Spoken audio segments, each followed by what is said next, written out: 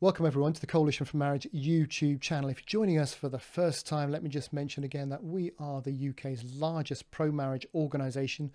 We represent groups and individuals who support one man, one woman marriage. And that's not to say other things don't exist in a uh, liberal democracy, but we think one man, one woman, lifelong monogamous marriage has special, unique value to society. And I'm really excited to welcome today's guest who's going to talk to us about that and, and uh, why it's so important. Uh, Kirk Durston, would you like to say hello to our listeners? Yes, well, it's a pleasure to be here, Tony, and uh, big hello to everybody who is watching this video or listening to it. Can I just say, folks, as well, uh, if you're listening to this and you think it's useful, could you please forward it to family members, to colleagues, to friends? Uh, what we're discussing today is perhaps one of the most pivotal things we've discussed so far, and the more people that know about this, the better. Now, Kirk, you're going to talk to us about the uh, writings of a 20th century social anthropologist, Oxford social anthropologist J.D. Unwin, because he's got a lot to say about society, about the things that matter to society in terms of whether it prospers or whether, in fact, that society collapses. Uh, first of all, Kirk, tell us a little bit about yourself and how maybe you came on to the study of Unwin. Sure. Uh, I grew up in central Canada on a farm uh, raising beef and grain. Uh, but uh, I guess at the age of 17 or 18, I decided I needed a vacation. So I went off to university and uh, did a couple of undergraduate degrees there, one in physics, one in engineering. And uh, then uh, upon completion, I moved to Montreal and worked for Pratt & Whitney as experimental test engineer. And during that time, I uh, met and married the woman now that I've been married to for, let's see, it's four, it'll be 42 years this this July. And uh, yeah, well, it's been, it just gets, uh, yeah, I'm very thankful and grateful for her. And uh, then uh, I found working with uh, high tech uh, very interesting, but not near as interesting as people. And so I began to feel motivated to start working more with people. And I left um, after a couple of years of looking at different opportunities uh, I left that and began to work with people, particularly university students on universities across Canada. And eventually I began to, um, to speak on issues at universities and not just in Canada, but a little bit in the US and actually a few, t- several times in Scotland, once in the UK and a little bit in Europe. But as I interacted with university students, I saw there were two major problems that seemed to devastate them or set them back. And uh, as a result, that's where I did graduate degrees, one in philosophy, w- which was a master's, uh, not a doctorate, but then a doctorate in biophysics. Uh, for reasons that it would equip me to be better to better interact with the particular issues that university students were raising and uh, yeah so along the way i i've always been interested because i have i've been i was raised in a fairly um, what would you say? I don't think the word strict is particularly appropriate, but with with high moral values when it comes to what we do with our sexuality. But I was always interested in what if people don't don't live by those values? Like, what is the difference? How does that affect them? And um, so when I when I heard about J.D. Unwin's work back in the 1930s, uh, I became very interested in it. I went through that book a couple of times, created a summary, and uh, published it on my website. And I think the day I published it, there was a, a professor at Princeton, uh, Robert P. George, who is internationally distinguished professor who has, I guess, taught on Unwin. And he, he was shown my article and he actually endorsed it, said this was a, a very good treatment of Unwin. But he went on to say, that um, although Unwin published in the 1930s his book, um, Sex and Culture, no one since then has surpassed or even re- reached the same level of research as J.D. Unwin did. He studied 86 different cultures and civilizations to see what the relationship was between flourishing of those civilizations in terms of architecture, art, agriculture, and uh, literature between that and the sexual constraints they exercised. And when he did that, he found some truly remarkable observations that he said were consistent and repeat with, and I quote, monotonous irregularity. But the beauty of him having published in, in the mid 1930s is that he published before our own sexual revolution in Western society. So, what that enables us to do is enables us to look at Unwin, his research, what the consequences are of loosening sexual constraints, what the predictions his research made, and then look at to see, to test actually, to test the validity of his conclusions and observations by looking at whether our own society is following the same footsteps with, and I quote, monotonous regularity. And it turns out it is astoundingly so. So if I can summarize what, what, what, what I interpret as Unwin's thesis is, is essentially um, once a society uh, drops the notion of one man, one woman, monogamous lifetime relationships, and added to that, um, keeping sex for that one man, one woman uh, monogamous relationship. Once society lets go of that, it marks the demise of the culture. Um, is is that largely a, a, summary of his analysis of 86 cultures um, over time? Well, it's actually uh, the. Let's talk about the tipping point. The tipping point between a culture ascending this curve of flourishing and well-being. Yep. That reaching the tipping point of sexual um, freedom or the relaxing of sexual constraints and then the deterioration. What he found is that the tipping point actually occurred before the abandonment of what he called absolute monog or absolute monogamy. Absolute monogamy, defined by Unwin, is the uh, one man, one woman for life. Uh, mm. And that means that includes specifically their sexual relationship is only between those two, the man and the woman for life. That was absolute monogamy. But the tipping point occurred in a culture before that. The tipping point occurred when prenuptial chastity was no longer required.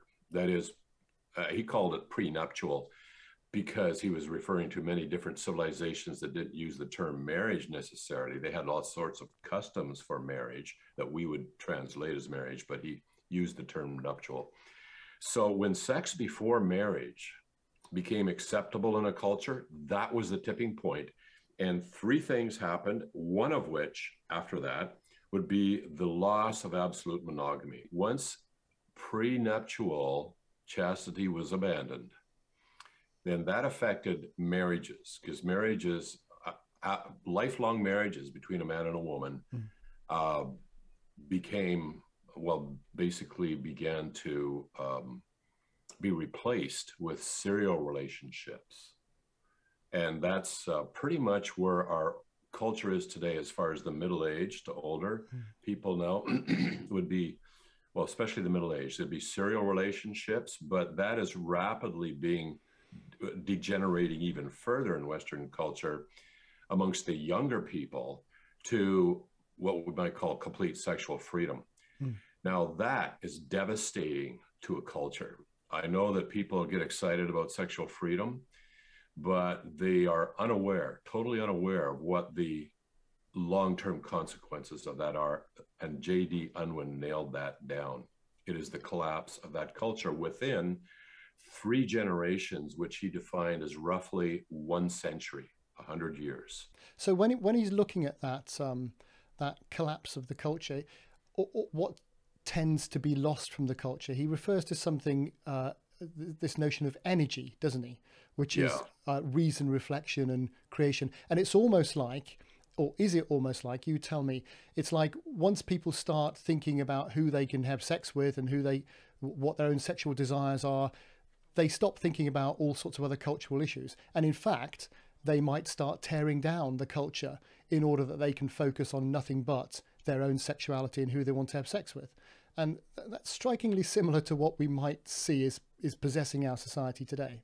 Yes. Uh, no, Unwin Unwin made a lot of observations and recorded his observations, but he was also interested in the question why does that society collapse?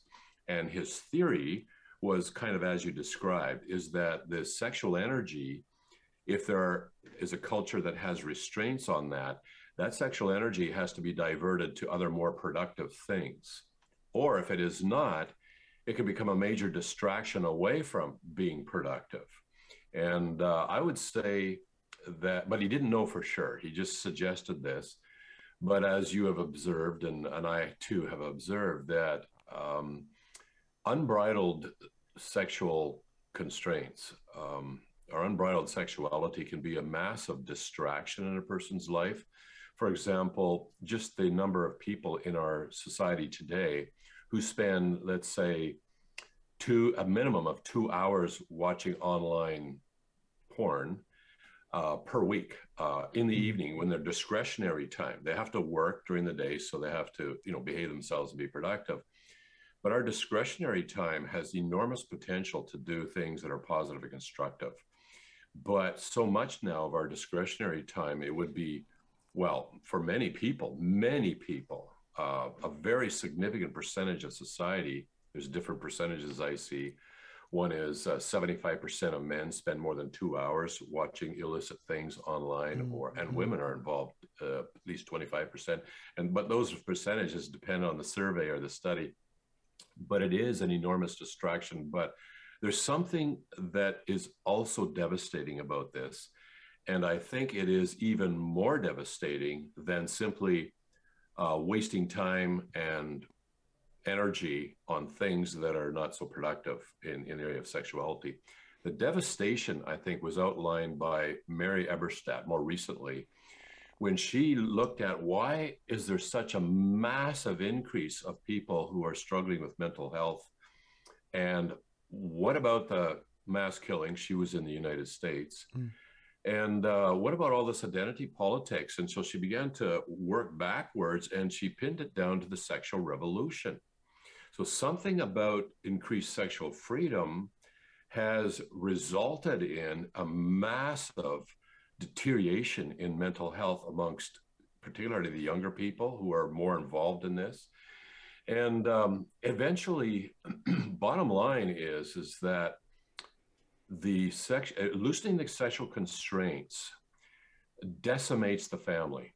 Uh, hmm. so, for example, uh, absolute monogamy, as that deteriorates, uh, the children are left in single parent relationships. Even blended family are better than single, but even blended family cannot cannot um, reach the same level of well-being with the children as uh, uh, children who grew up with the same dad and mom all their lives or hmm. all their growing up years.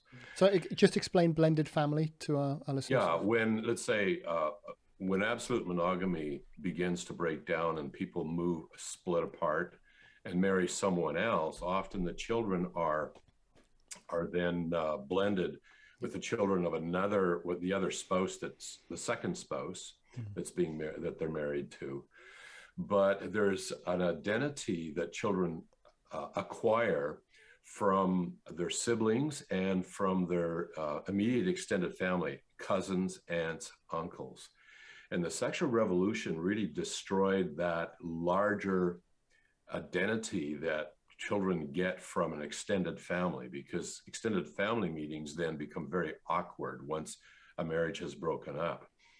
And so they tend not to happen near as much. The number of hmm. cousins is greatly reduced because people they break up after maybe one child or so. Hmm. So um, there is two factors involved in the destruction of a civilization. I think one of them is uh, the wasting of energy on the whole pursuit of se- over sexualization of a society. And we're definitely, our culture is way over sexualized. Mm. And secondly, there are the consequences on the relationships in the family for the children uh, that grow up in a, in a state where absolute monogamy has been destroyed. I should mention uh, there were the, the three immediate consequences of crossing the tipping point. First of all, I should say I was shocked when I read that the tipping point was premarital sex. Yeah. I, like I, I had expected yeah. that the loosening of sexual constraints, the, you go pretty far down the road and then they really start bothering culture. But no, I was shocked because that's about the highest standard a culture. Yeah. If there's prenuptial chastity, the uh, chances of lifelong marital relationships is greatly increased, mm. greatly increased. Mm. And uh, so a and lot fi- of people, figures figures today support that. Yes. Oh, yeah, for sure. Mm. I mean, if you look at how long marriages last today, and plot that with uh, the acceptance of premarital sexual relationships. Yep. Uh, you'll see a direct correlation. Yep. And we had we had um, uh, Dr. Pat Fagan uh, interviewed recently, and uh, he was going through.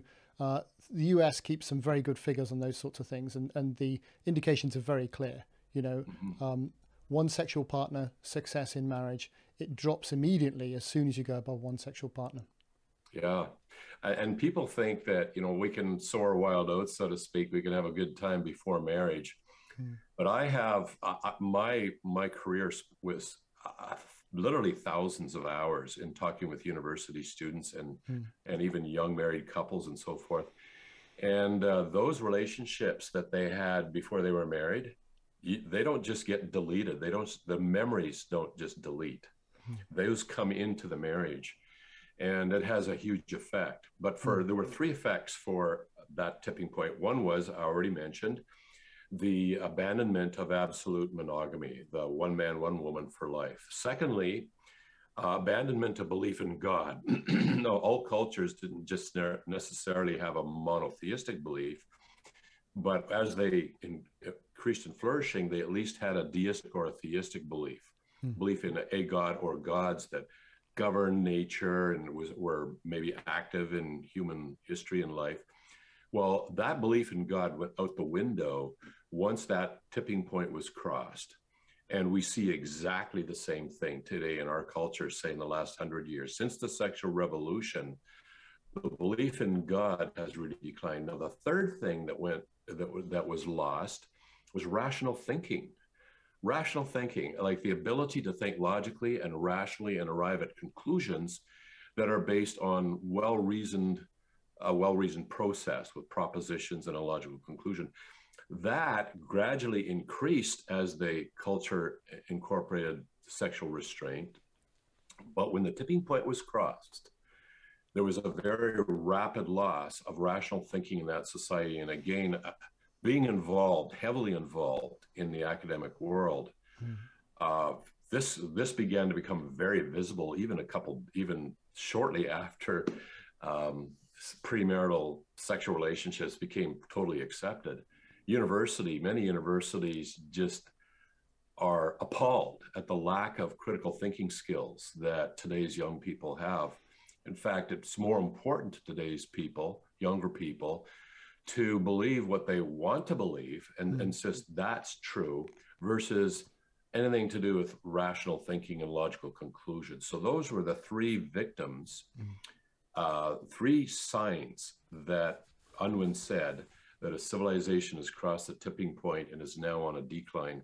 And we have seen those remarkably clear in our culture today since the sexual revolution. So it looks like Unwin's research is going to come true again today for mm. Western culture. In fact, it's not just Western culture anymore.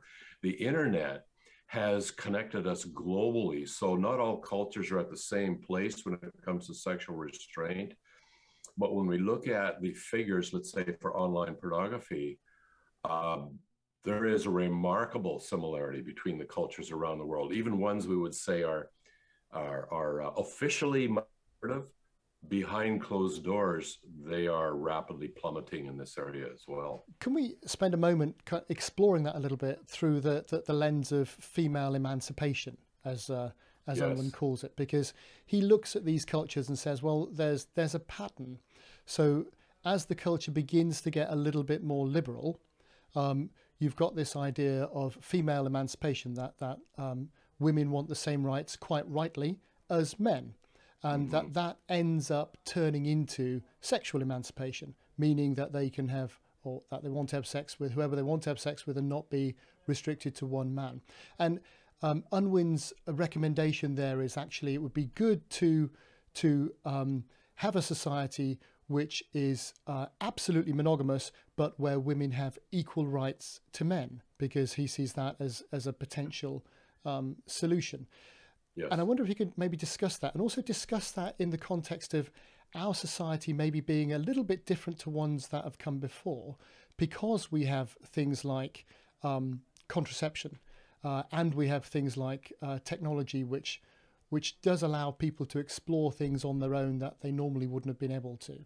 Yes, this was a uh, a very this was another observation Unwin made that just prior to the tipping point, what he observed in these various cultures, like we tend to think today that emancipation, let's say the um, equal rights for men and women, yeah. is a modern thing, but it's not. There were other cultures that had that as well, uh, that where that arrived in Greek yeah. culture, for example, in Roman culture. But what he observed is that um, as something unfortunate, first of all, is that women tended to be treated often with not the same in not the same way as men, and that was unfortunate.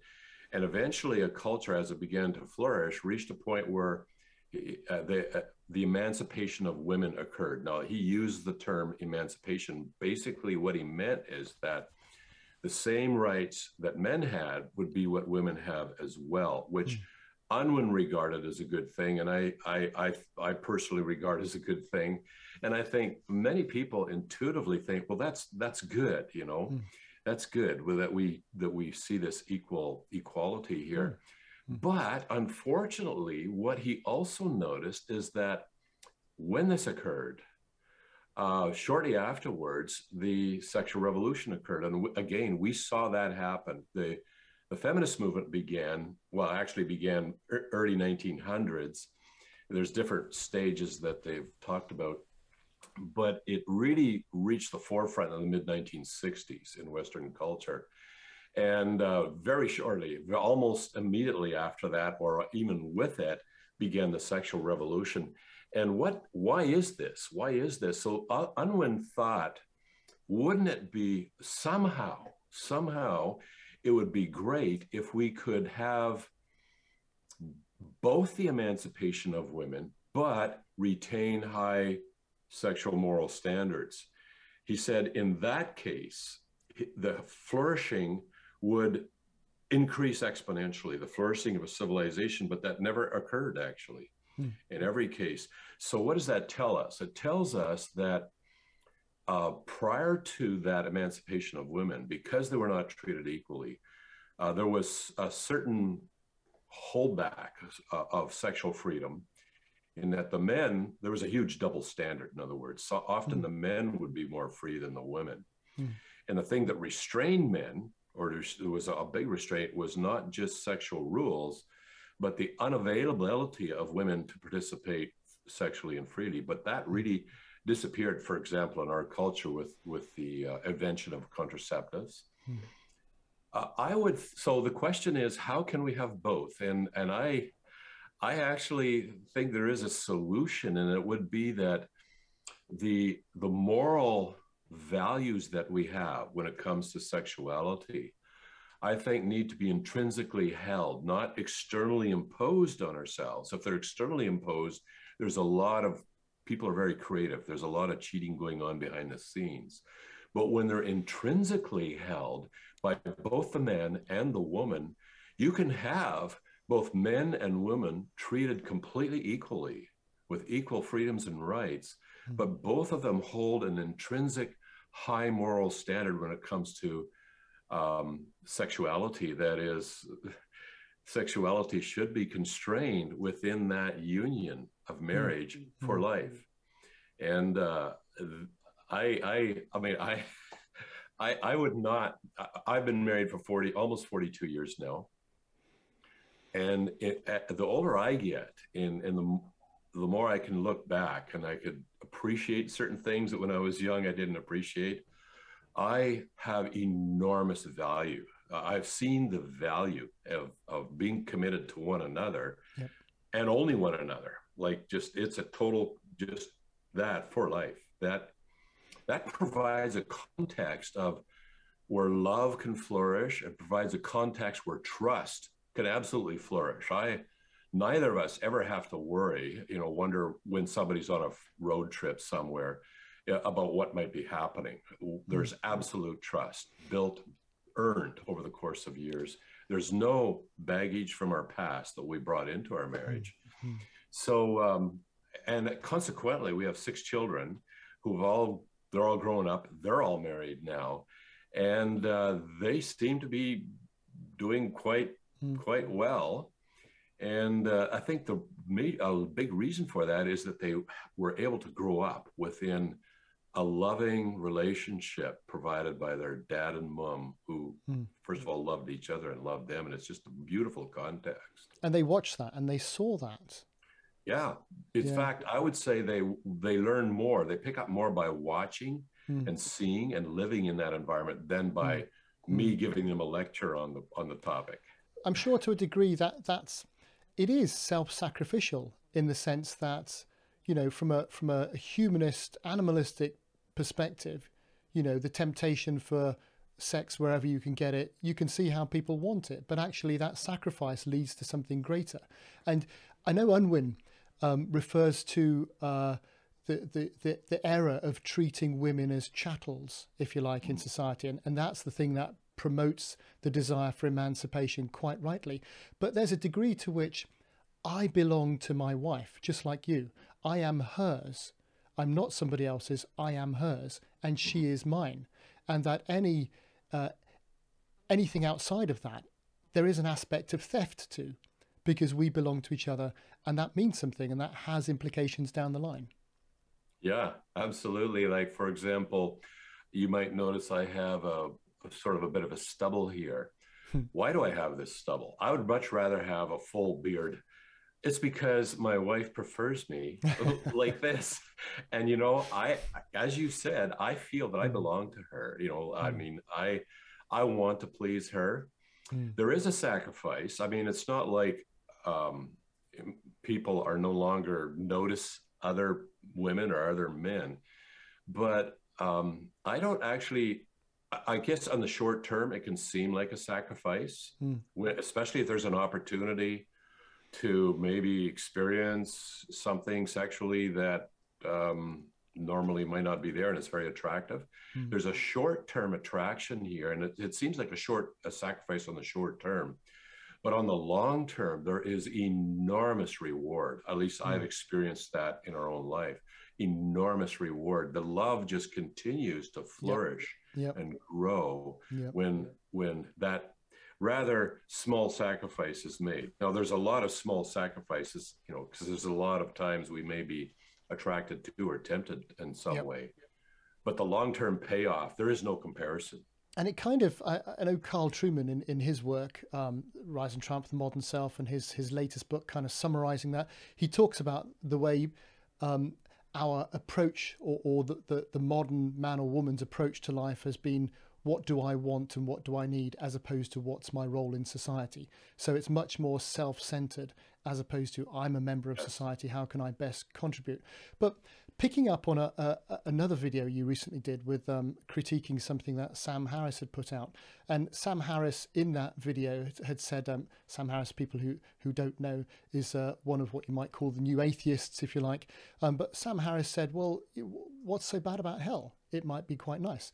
And picking up on that thought, um, what's so bad about a collapsed society? It might be quite nice. Oh, it's never nice, according to Unwin's research.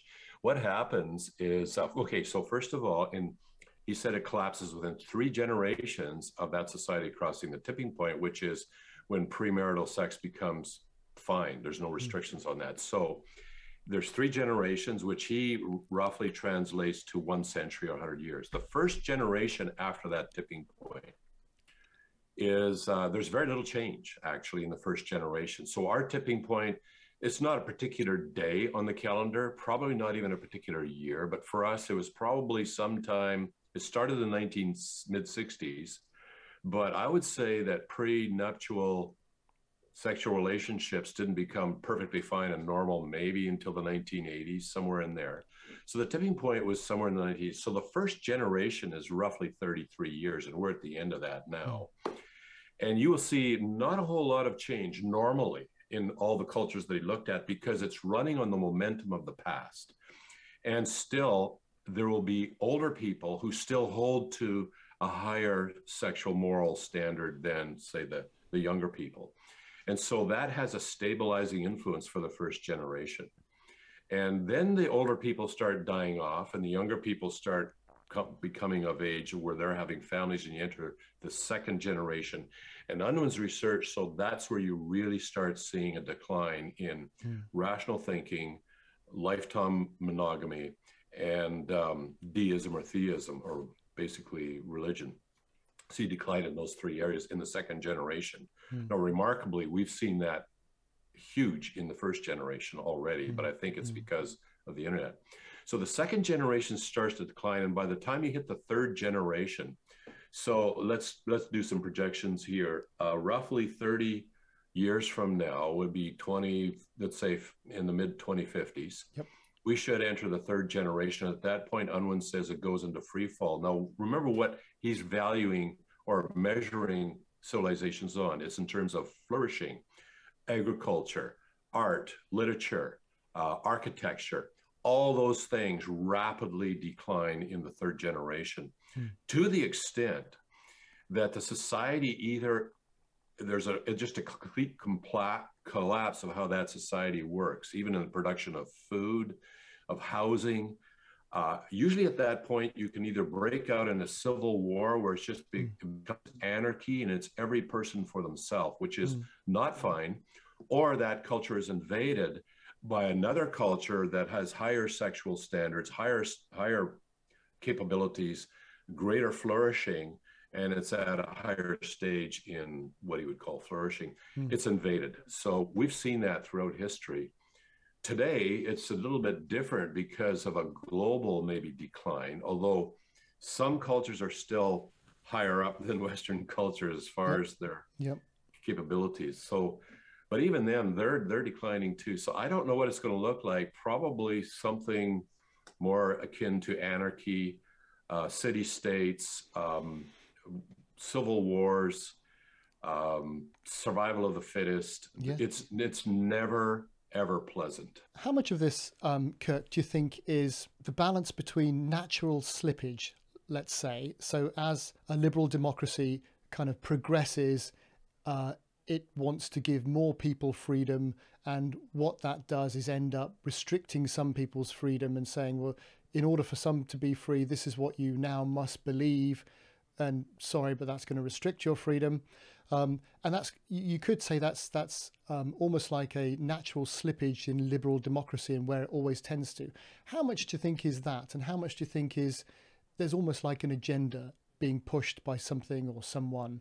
Um, is it just natural slippage, or is it more than that? Well, that's a very good question and a very good point you raise because uh, we are observing that as well in our in our Western Western culture and not just in Western culture. But okay, so um, let's say as a society becomes more progressive, um, what tends to happen is that it wants to make people behave. So the be the the incentive for behaving now becomes more and more external because people want more and more personal freedom to do whatever they want.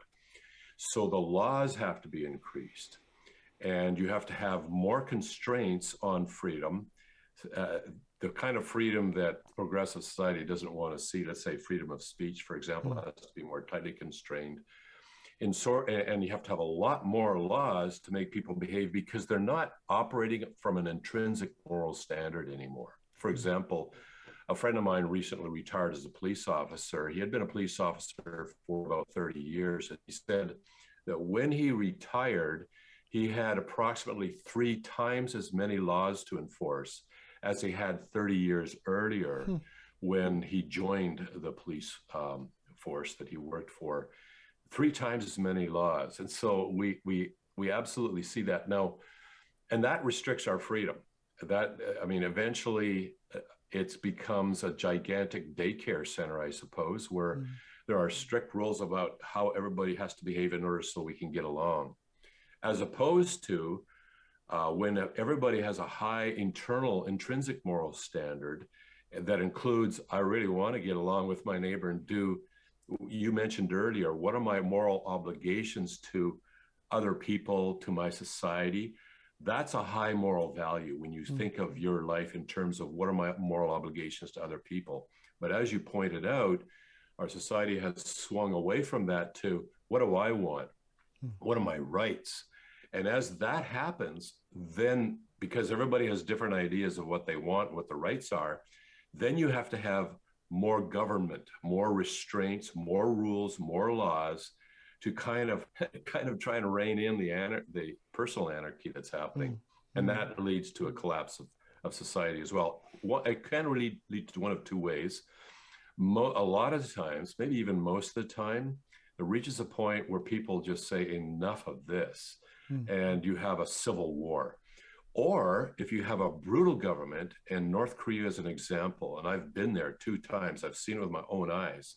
If you have a brutal government, you can enforce the ultimate in a progressive society where it's all about, you know, let's all work together theoretically.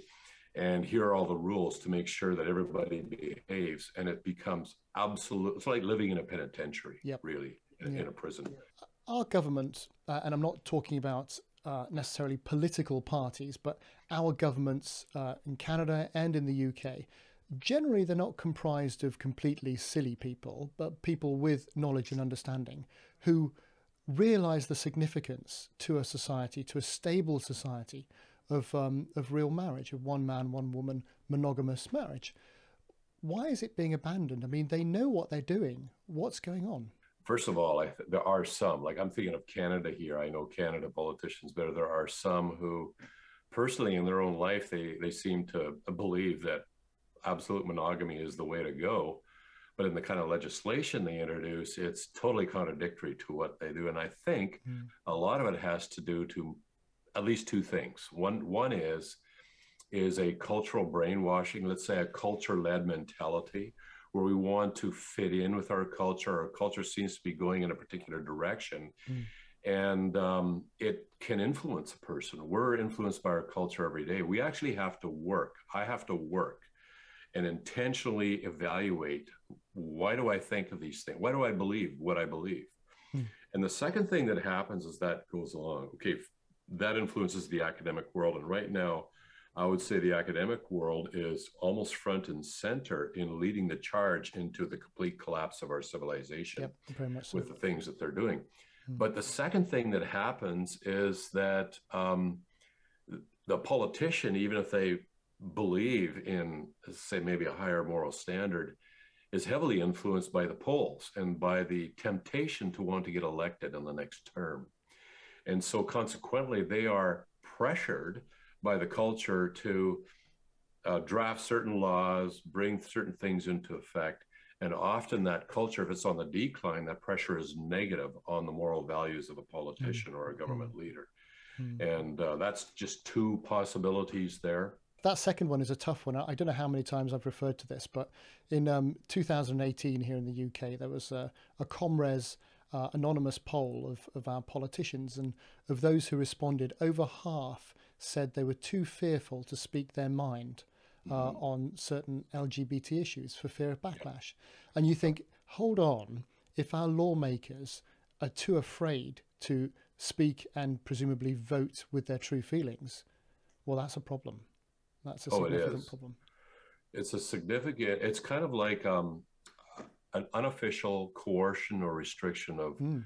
of the free discussion of ideas. Mm. Like mm. I can I can um, personally, I'm not going to stand up and say hateful things about people. I want to build bridges with people. Yep. But I also want the freedom to have a, a, a sincere, thoughtful discussion on any issue, any mm. issue at all. Mm. But as you say, the same situation is here in Canada. Polls have been done in universities here. And most, the vast majority of university students are afraid to say anything in class mm. for fear they somehow cross a line mm. and get disciplined or expelled or, or reprimanded. Mm. So there's this fear. And, and living in a culture of fear is another sign, I think, that we're on a on a heading towards a collapse of civilization that Unwin forecast. Now, mm. I should point out that Unwin observed that many of these cultures and civilizations thought they would be the exception. He said this was Huber, like he, he just observed this. And he says, no, there were no exceptions. Mm. Every, a lot of cultures thought they would be it. And I know our culture probably thinks the same thing that, oh, we won't collapse. Although I don't know. I, I see a lot of pessimism, especially amongst the younger people, yeah. that they're not sure the future is looking all that rosy and they're worried about it. And I think rightfully so, because there are larger things that are slowly grinding to a halt that should yeah. go into free fall. You're right. And not only that, but you look at the, the global population and what you might call the Western world is about 2 billion people out of 7 billion people. So we're not in the, not in the majority. You know, no. there's, there's a lot more people who think and feel uh, culturally very different to us. Exactly. So we need yeah, to protect fact, and preserve that. We do. I know. Uh, in fact, I see uh, like here i hear a lot about how uh, i hear a lot about colonialism and how terrible it is because north america of course was colonized by the british and the french and mm-hmm. but um and so they they're the the left the liberal left or the progressives would say uh you know oh the colonialism is terrible but what i am observing is that when they're looking at some of these other cultures in developing countries that maybe have more conservative moral values with regard to sexuality they actually think they're wrong. They actually want to, uh, let's say, practice a a cultural colonialism on the developing world and convince the developing world they need a mm. sexual revolution, mm. revolution mm. as well that they're they're backward and so forth mm. so it's a large double standard in our western culture that we think our views of sexuality and sexual freedom are the proper ones are the correct ones and we need to basically colonize the rest of the world yeah, with our yeah. ideas. This this concept of uh, liberal hegemony, you know, taking yeah. our views and, and liberalism and almost like imposing it on other other countries because we know it's better. Um, can I just touch? I, I know you you're, you're, a busy guy, and I could I could literally spend the entire day talking to you. Um, but a little bit of criticism of um, Unwin. In fairness, we need to look at those who and the criticisms will will involve things like yeah, but um, correlation is not causation. And, mm. um, you know, actually, uh, if Unwin had looked at Japan, for example, he would see that Japan has become a, a lot more liberal over the years and that its liberalism has coincided with its prosperity. So, how would we deal with things like that? Yes. Well, first of all, it is true that correlation is not necessarily causation. And uh, I do mention some my own reservation of that in my article that Although I think there is something to be said for sexual energy and diverting that into something more constructive. Hmm. I wasn't sure that that was the cause of the collapse of civilizations. But when I read about the effect of the sexual revolution on the family and on marriage, I hmm. think we're much closer to the cause of that mm. collapse. Mm. Unwin, of course, wasn't didn't have a faith himself, did he? He was. Uh... I don't. I don't see any evidence yeah. whatsoever. In yeah. fact, when I read his book looking for that. Um, I, I, saw the way he described, say, Christianity, for example, was um, I don't think he ever mentions Jesus, for example. He does mm. talk about hmm. Christianity, but he, I think he refers to it uh, mm. uh, the, the, Galilean as a term that he used. The Galilean, he never uses, mm. and he refers to Christianity in a very um, just completely as if it's no different from any other religions, pagan or otherwise. So I I would suspect, uh, based on my reading of Unwin, that he was probably maybe an agnostic, hmm. Maybe an atheist, but mm. certainly no evidence whatsoever that he was a religious man. Mm. Because you would expect religious people to be biased up here, mm. but hmm. he he just doesn't seem to have that at all. And if anything, maybe biased against, hmm. slightly, slightly against. I wouldn't say a bias, but just. Yep and, and so, of those of those who do criticize, you know, they they pick up and say, well, his definition of civilized versus uncivilized, you know, that's not right. But they don't actually undermine his basic premises, which is which is once you lose that notion of lifelong monogamy um, and and keeping sex for marriage, yeah. that's the beginning of the end for any culture. It is, yeah, yeah. because yeah. of the consequences that unfold from that. So um, I'm um, I was I was once um, criticised as being a pathological optimist, which which I took as a compliment, as a pathological optimist would, of course. Um, so I'm not I'm not willing to think this is the end of our society and this is the end of our culture. And many people have said actually we're we're due a massive correction at some point, and and that could be painful if not managed properly. I wonder, in your view, how do we look at you know you can never go back in time, of course you can't, but in terms of uh, and I don't think anyone's looking for top down imposition of of these things to to get back to where we need to be What's the route forward from here, would you say? Well, I'll just give you my thoughts on that. And that is a, very important, that question you've asked. I think, um, okay, let's say if we want to be an optimist here, the way forward for me personally is I think intrinsic moral values are very important. I don't want imposition of moral values like what they have in North Korea, for example, which is the extreme. It has to be intrinsic. So, what is that? I, I, think that I might not be able to do a whole lot about the where our civilization is going, but what I can do is first of all look to myself. How am I doing personally? Hmm. And for example, the emancipation of women, I thought, like, how is that working out in my marriage? I very much, I totally see my wife as my number one advisor, for example. Mm. I, I don't think I've ever made well, I've never say pulled rank as a husband, say, well, I'm the man, you know, I'm going we're going to do this ever in 41 years of marriage. Mm. We talk about these things. And if I ever did that, I would see that as a failure on my part, mm. a loss. And consequently, the, the relationship between a man and a woman, when they see each other as their number one advisors and confidence and partners, that's the first step, I think, in producing the next generation that will not be going downhill, but also will uh, those values that they'll hold. So that's one step. The second thing is, well, at least maybe I can somehow influence others to maybe think a little more carefully about their own um, intrinsic state of affairs, their intrinsic values.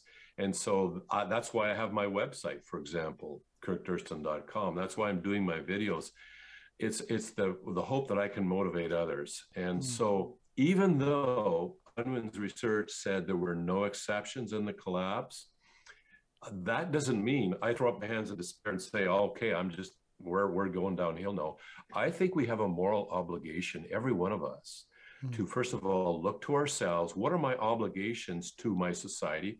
Personally, I'm not interested in my rights and freedoms. Well, I, I let me let me say that I'm not interested in my my rights. Freedoms is a different category. I'm very interested in that. But rights, I think um, I'll, I'll say I'll trust God to look out for my rights. What I have to do is to look at myself as basically a servant to my civilization yep. and to the people around me, my neighbors. And so it's it's about looking around me and see what positive contribution can I make uh, coming out of my intrinsic love for what is right and good and beautiful and true. That's you know, Kirk. That is absolutely beautiful, and that's something we need to get back into our culture. Is that it's not just about you, and and the best way of of producing the best environment for you is for you to think about other people. And yes. if everyone did that, sounds a bit twee, but actually things might be an awful lot be- better than they are now. And oh, that that's never more embraced than in in the you know the the marriage relationship, uh, the context of, of sex within marriage, all those things that Unwin says are absolutely inse- essential to a, a prospering, flourishing culture. Well, mm-hmm. Kirk, it's been a, a, privilege. You mentioned your website, uh, kirkdurston.org, was it? Dot com, kirkdurston.com. That's Kirk yep. as in the Scottish word for church, Kirk. Yep. Durston, D U R S T O N. And we'll, po- we'll pop it on the screen. Uh, can I recommend this? Uh, this video will be going out to, or we'll be notifying uh, tens of thousands of people. I want them to all, if they can, go to your website, have a look, uh, go and watch your videos, but most of all, to take your advice, which is let's be examples to society, let's encourage mm-hmm. others to do it too, and let's get it back and let's make it uh, the society that it could and should be based on real marriage and the value that that gives. Kirk, mm. thank you so much for your time. I wish you well in all your work as you're going forward, and uh, It's a pleasure to talk to you. Oh, it was a pleasure as well, Tony. Thank you for this excellent conversation.